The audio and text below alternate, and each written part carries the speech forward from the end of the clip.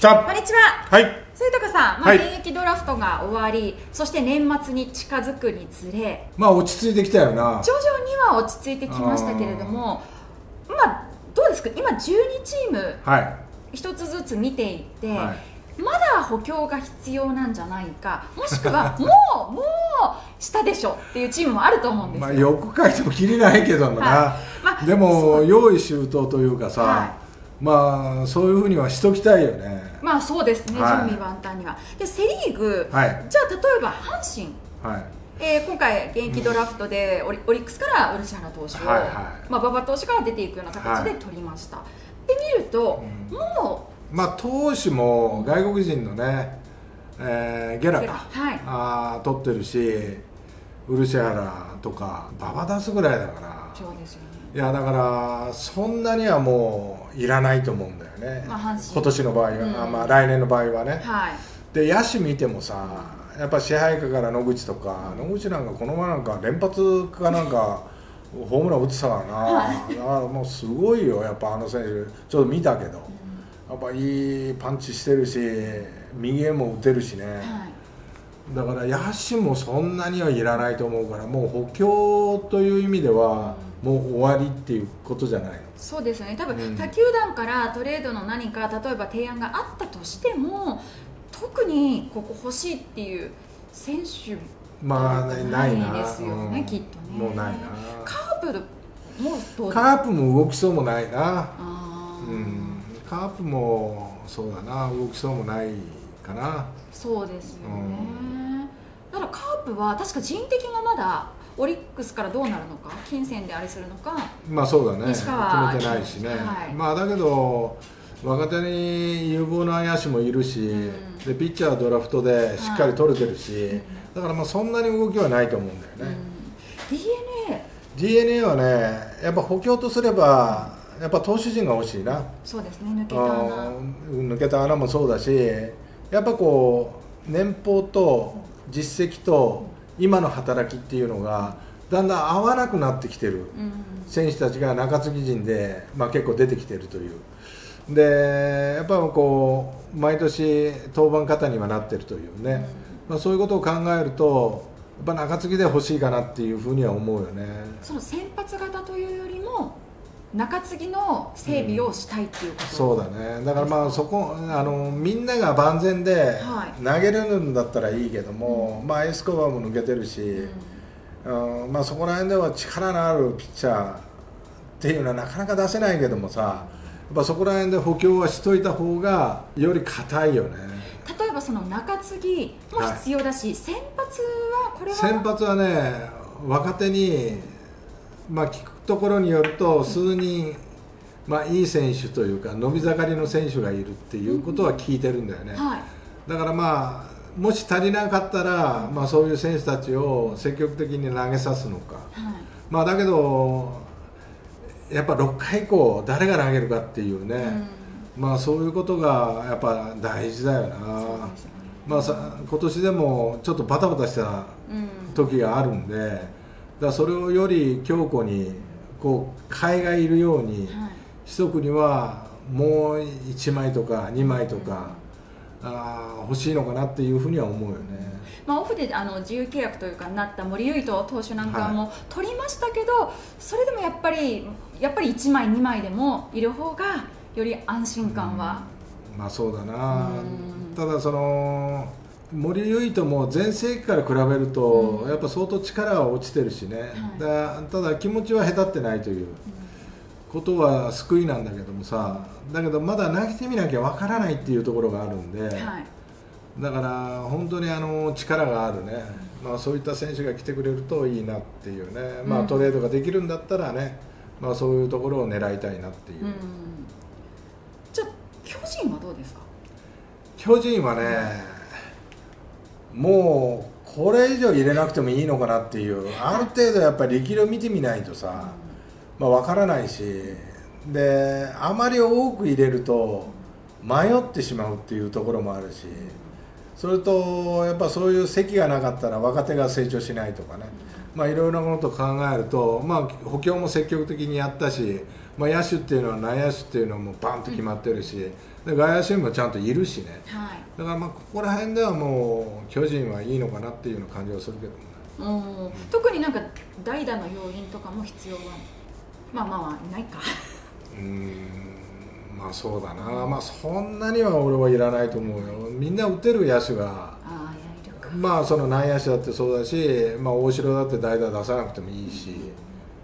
で、まあ、外野手に至ってはまあでも若手も成長してきてるからさ、はいだからまあここら辺は若手にチャンスを与えながらっていうようなね、まあ、そういうことも考えてるだろうしだからもうそれもう終わりかなっていう。そうですね。投手もあれだけいや馬場も取れたしね。そうなんですよね。うん。だからまあ良かったかなっていうふうには思うもういいかなっては思う、うん。じゃあ巨人はちょっとトレどっかトレードはなさそうなはい。ヤクルトどうですか？ヤクルトはねまあやっぱピッチャー中継ぎが欲しいかな、まあ、先発でもいいんだけどもさ。やっぱ欲しいよね。今回現役ドラフトでは野手、まあ、北村選手を取ったじゃないですか。ピッいチャーのやだからそのなんていうの即戦力のピッチャーが欲しいんだよね、ああうん、だからじゃなかったら北村に行くと。そう馬場投手には行かなかったってことですよね。あまあそうか巨人が一番人気だから取れない。まあまあそうだな。取れないかそうか。だから馬場が取れたらまた状況は変わってたと思うけどもあやっぱ中継ぎ陣の層という意味ではちょっとまだまだ盤石にしといた方がいいかなっていうようなね。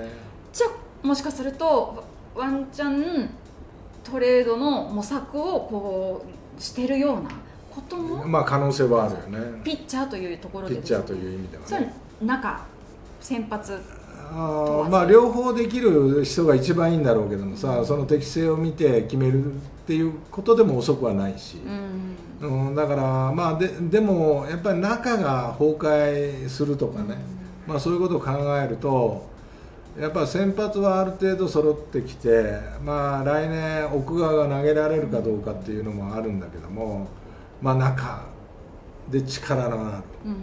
ピッチャーかなっていうふうには思うけどね、中日どうですか？中日結構補強たくさんしまあ、中日はねもうピッチャーはもうそこそこいいから、はい。あのいらないにしても。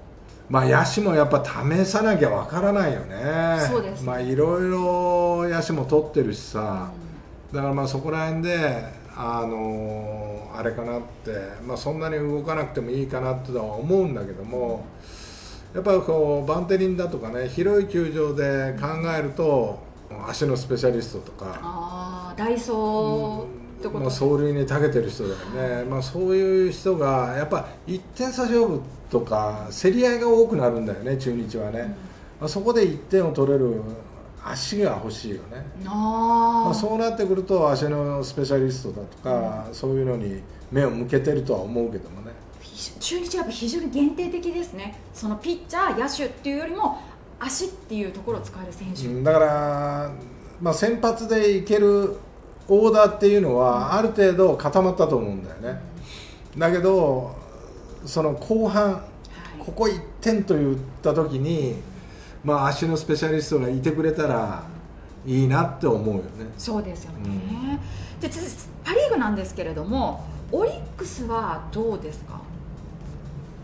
オリックスはもういいかなっていう感じはするよね。まあ、あの西川龍馬選手も取れましたしで今回中日から鈴木投手取はいりました、はい。うん。うん。だからまあオリックスはももういいかなっていうような感じはするよね。あーなし。じゃあロッテ。そうだな。今回ロッテは愛斗選手西武から現役ドラフトで取りましたけれども、野手ピッチャー両方ともどうですか？見てまあそんなにはいらないかなっていう感じはするよまあなだから、まあロッテで出したのが佐々木千早を出して、でまあ井上誠也っていうのが危ないのかなっていうふうに思ってたら、まあすっと残しておして、まあ、ファーストも彼はできるしね。はい。そういった意味ではまあもうつないでいく感じのチームだから、はいまあ、そんなにはいらないのかなっていうような感じがするよね、例えばまあ、今年の成績はね、そんなに悪いわけではなかったから。そうですね。ただあの最後ね息切れしたのは投手陣が体調を軒並み壊したという、ありましたね、まあ、投げるピッチャーがいないというね。そうなんですね。そういう現状でまあそのオープナーとかねそれを使いながらなんとか乗り切ったけども、はい。まあそれはアクシデントがあったからね、まあ、そうなったことで、まあ、現状のままでもいいのかなっていうような感じがするよね。例えば今シーズンでいうと佐々木朗希投手がやっぱり、はい。こうローテーションから外れなきゃいけない時期になった時にじゃあその代わりを埋めるだけの先発がいったのかなっていうとやっぱなかなか苦しい台所事情だったり。いやでもね、あれだけね、軒並みね、体調崩されると、やっぱり野手っていうのはすぐ戦列に復帰できるかもわからないけども、やっぱりピッチャーってさ、デリケートな、うん。あの選手、あの立ち位置だから、それはちょっとでも熱が出たら、やっぱそれを戻すのに、筋力だとか、はい。体調を戻すのに、やっぱちょっと時間を要するよね。うん。だからそういった意味では時間かかったけど、まあ、盤石であれば今年ほどは苦しまないと思うよ、あしい、うん、だからそんなにはいらないと思うけどもね、うん。ただまあ先発できる人がいれば、それは楽にはなるよね、はい。ローテーションが、うん、だからまあ例えばアクシデントで佐々木朗希が使えなくなった、そうした時にポッとすぐ入れるような、はい。でもそんな選手っていうのはなかなか出さないからね。まあ出せないよ。他球団がってことですまあそうだな。だから結構難しいと思うけど、うん。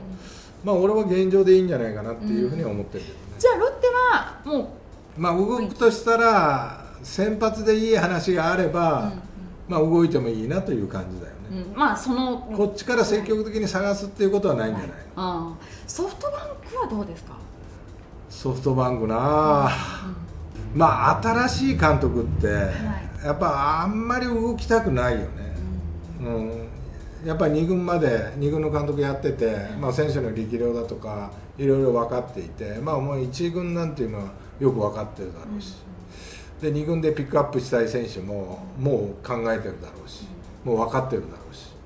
だからまあそこら辺の様子を見ながらだと思うよ。だから動くとしたら開幕してからじゃないの。ああじゃあ来年ですね、うん。3月4月くらい。だから今は現有戦力で、まあ、行こうとはしてるんじゃないの。まあ、今シーズンでいうとデスパイネ選手を途中で取ったりとかうんなんでしょう、まあ、途中で取るプラスやっぱり外国人のその一発のあるような選手とか、まあ、ウォーカー選手も、ね、巨人とのあれで取りましたけれどもそういう意味でなんかこうパンチ力のさらにあるような、まあ、それは他球団にないか。まあ仮に前の動画で言ったけどビシエドとかねそう そうですね。ああいう選手を取る可能性はなくはないようん、なくはない。それとかブリンソンとか、そうですね。た対談しましたね。ううん。ん、とか、まあ外がやる気があればとかああ、まあ外いや国日本でねうん日本で日本でやる気があればっていうことだよねそうですね。そこもしかしたらトレーまあビシエド選手だったらトレードになりますけれども、うんブリンソン選手とかソト選手だとまあ獲得っていうまあまあ形そうだになねるかもしれないですね。楽天です。本当は動かなきゃいけないんだろうけどね、まあピッチャーも不足してきてると思うよ。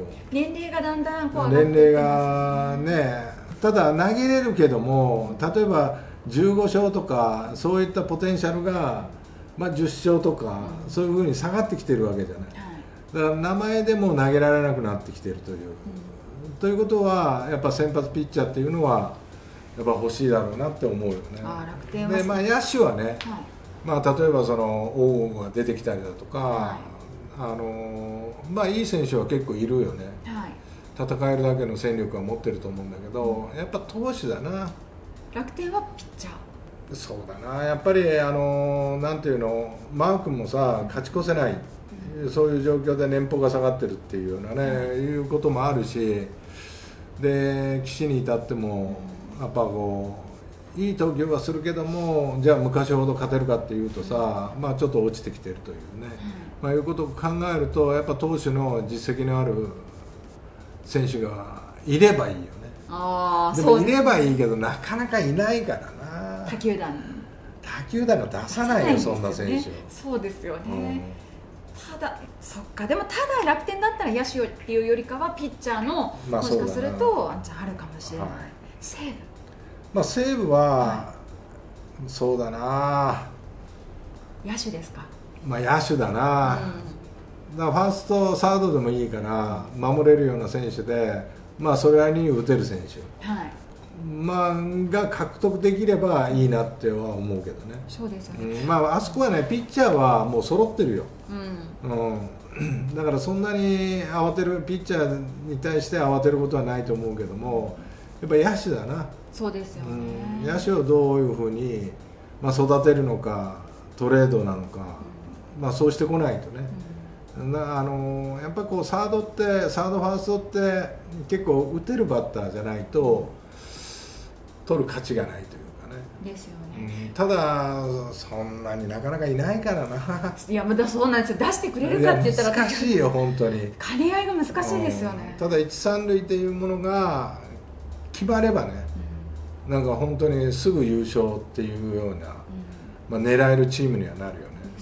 そうで山川選手の去就がまだはっきりと出てないので、それによっては例えば人的になってどっかの球団からになるのかまあそうだな。とかまあいろいろ終わってないことがそうだな、多いまあ、山川が移動して、まあ、例えばサードに、まあ、仮にリチャードだとか、ソフトバンクっていうことだとそうですよね。まあ、ソフトバンクだとしたらね、はい。うん。あのそういうことになってくると、あまり考えなくなるというか、それを育てていこうかっていうことにはなると思うけども、まあ、ソフトバンク以外であればね、はい。またちょっと話は違ってくるんだけども、うん。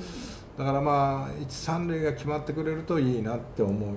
ですよね。せっかくセンターラインがね整なってきたし。だけにっていうことですよね、うん。さあ日本ハムどうですか？これ意外と動きそうで、もう動かないと思ピッチャーとかどうですか？もう、ういやピッチャーいるあそこは。まあ、山崎福也投手も入りますし、はい。加藤投手残りましたし。まあねねあの広噂投手はあれですけれども、うん、あの伊藤大海がいるし、まあ、中根本もいるし。はい、はいだからね割とね、揃ってるんだよね。中中もいるっちゃいるよ。いるっちゃいる、まあまあいるっちゃいるけども、はい。やっぱ若手っていうことも考えるとまあそんなに俺はもう新庄監督は動かないかなっていうふうに。プラス野手も結構今飽和状態というかどうなんですか？うん、飽和状態でも競い合わせてるよね、うんうんうんだからその時にやっぱライバルを出してしまうっていうことは、うん。多分ないような気がするな。そうかじゃあないのかな。だから俺は日本ハムは動きそうだけど動かないっていう。ただ動くとしたらやっぱ投手が欲しいよね。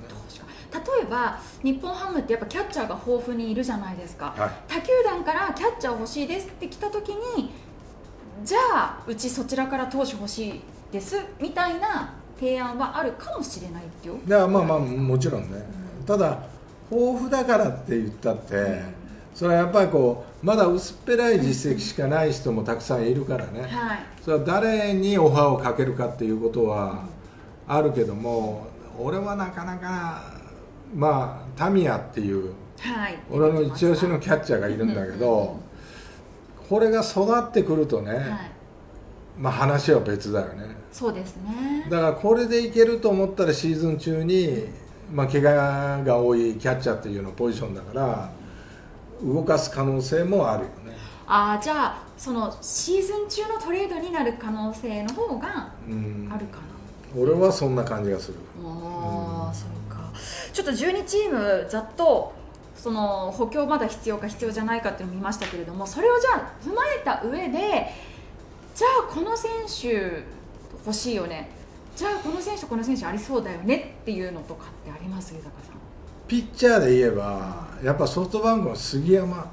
あこのピッチャーもね、はい。力があるけど、はい。なかなかチャンスがもらえないというかね、はい。で国母監督の腹一つだと思うんだけども、使うのか使わないのか、それによっては相手によって変えてもいいというふうには思ってくれれば可能性は高いよね。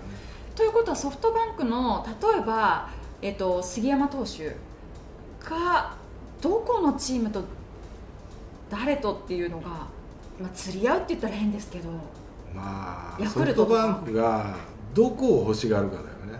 だからヤクルトのピッチャーピッチャー。じゃあ竹岡くれって杉山あげるからって。それはヤクルトね。ったらそう面白いよね。でね。やっぱソフトバンクっていうのは外野手はいいよ。はい。いやだけどその内野で故障とか、まあ、そういうのがあったりとかするとねまあ栗原にしたって今宮にしたって全試合はちょっと無理だと思うんだよね体的には、だからそこを埋められる選手がしっかりはい。いれば変えてもいいと思ってると思うだからまあ中日なんか高橋周平みたいな。ああ、だから杉山っていうのはでもピッチャーはね。もうそんなにいらないと思うんだよね逆にヤクルトピッチャーが、まあ、できるまあそうだな。欲しいとなった時に、リーグまたいでのどうですか？いや可能性はあるよ。例えばそうそうなってくるとヤクルト野手、いや野手は若手にやっぱりこう優秀な人も多い。うん。多いけどもだけど成立するかなっていうような、まあ、DNA もやっぱ取っとくといいよね、そうですよね、うん。まあ、それだったら動くとしたら。うんだから DNA だったら誰出すかなっていうようなね。そうですね、もし DNA だとすると例えば誰？と、誰？うん。坂本？おおだからまあ杉山っていうことはないかもわからないけども、うんまあだけど杉山の魅力を考えるとやっぱりこうなんかこう環境を変えてあげるとっていうね、はいはいまあそういうことはあるけどね。うん、まあ、森選手ってことはないですよね、森？うん。内野手の、うん、まあないでしょうね。ただわからないよねあそこは。ただ林っていうのが出てきてるからだから可能性としたらないことはないよ。ああ、うん。ゼロではないっていうこと。まあゼロでは俺はないと思う。うん。まあみんなにね、まあ、そういう危険性というか、はい。まあ、そういうのがあると思うよ。そうですよね、うん。でまたね出番っていう意味でも環境を変えてっていうところもあるのかもしれまあまあないですそりゃそうだよね。他どうですか？他はやっぱり西武はその、まあ、山川がまあソフトバンク行った時には人的保障でっていうのは、うん。取れる可能性もあるしね。一塁三塁ができる人を。ただまあ高橋周平とか、まあ、チャンスを上げれば、うん。っていうのはあるよね。ただ FA を持ってるからどうかっていうことだよね。それで何年か契約するっていうのも球団はリスクだろうし、はい、うん、だからそういう面では二の足踏んでるのかもわからないし。うん、あとはもうちょっと年齢が若めの人をそういえば取りたいまあまあそうだね。まあだけどその年齢が若くてまあ、一三塁ができて、うん。まあ、ある程度長打が打てるっていうことを考えるとさ、まあ、高橋周平もえっとホームラン打ってないんだよね、うん。まあ、バンテリンとはいえさ、はい。まあ、全く打ってないっていうことを考えるとやっぱちょっと違うのかなっていうのも考えるし、うんうんそうだな。だから難しいよトレードってな。難しいですね、はい。あとなんか例えばヤクルトで高梨投手とか原樹里投手とかなかなか今シーズン。俺高梨は使えると思うんだよね、まだ。うん。うん。ただ原樹里の場合は環境を変えてやった方が、まあいいのかなっていうふうには思うけどね、うん。うん。もしかするとじゃあそそのあたりで折り合いがつく球団とっていうまあ可能性はあるよね。ありますよね、うん。まあね。い。やまあまあまあ難しいけども、はい。でも今今こうやって話をしていったけども、はいまだやっぱりこう不安定な部分が完全に埋められてるっていう、まあ、球団もそんなに多くないしね、はい。うん、だからこれからもちょっと動きがありそうな感じはするよ。そうですよね、うあのいつだったか12月の二十何日にねで電撃トレードみたいなのがありましたから、うん。だからなくはない、なくはないですね。なくはない。うんなのでちょっとね皆さんあの現役ドラフト終わったし、はい。あもう今年はプロ野球これで一大イベントというか、うん。終わったかな？ではなくてまだね残りの日数でまああるかもしれないっていうところをちょっと追っかけていきたいですね。はい